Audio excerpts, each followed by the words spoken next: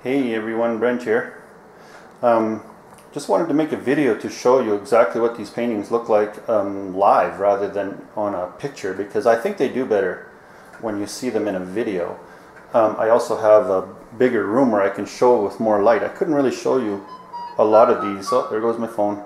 A lot of these when we were um, in the apartment because it just wasn't very good lighting. But I'm in the kitchen and I got this one. This one that hangs in my kitchen right now and I'm just going to come up to it. I want to show you exactly what I'm doing. As you can see, there's a reflection on the painting because I do lacquer them.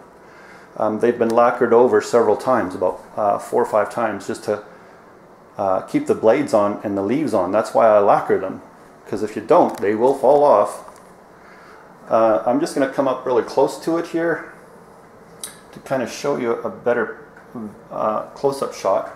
If I focus in onto the tree trunk, you can see how the blades in there are very intricately, intricately laid.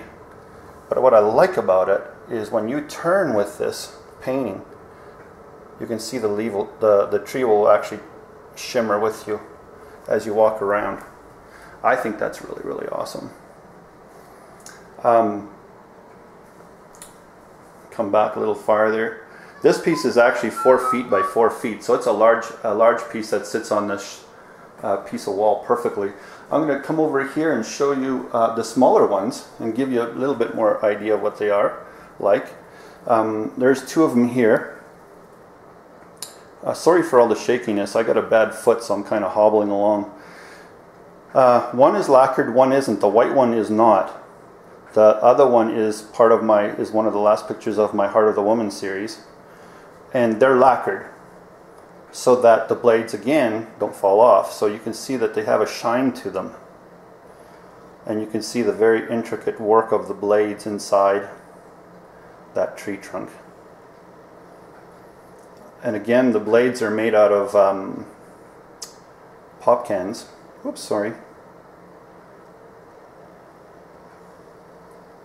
And so they do look a lot different than, than when you're um, than when you see them in a picture. I mean, a picture doesn't do justice to them really at all, I don't think.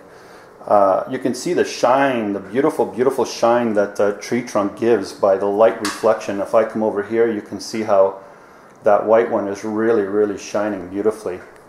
And if I just walk over here, it changes again. And it changes again, and it changes again. It just keeps, and I love that. That's, that's the beauty of these paintings, or these art pieces more than paintings.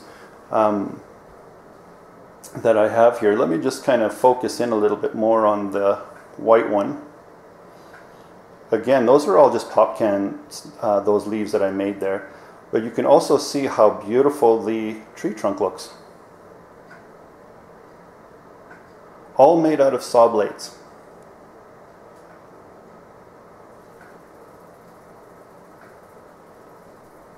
This particular uh, art piece here took me a long time to do. It was one of the longest ones I've done because all those leaves on there had to be uh, meticulously put in there so that they looked natural. If I would have just stuck them on there, stuck them on there, stuck them on there, I would have had blotches and I tried it and it didn't work very good. so I actually took them all apart and redid them so that they looked more natural. And I'm going to show you on this painting another thing, uh, the reason why I do lacquer them. If you look right there, if I can focus in on there, there's some leaves that had fallen out that need to be replaced. And so that's the reason why I lacquer them is because they do fall off if you don't if you handle them too much. So if I come over to this one that's already been lacquered, I can touch it. I mean, I can do anything to this painting. I mean, I can wash it off with a cloth. I can do anything.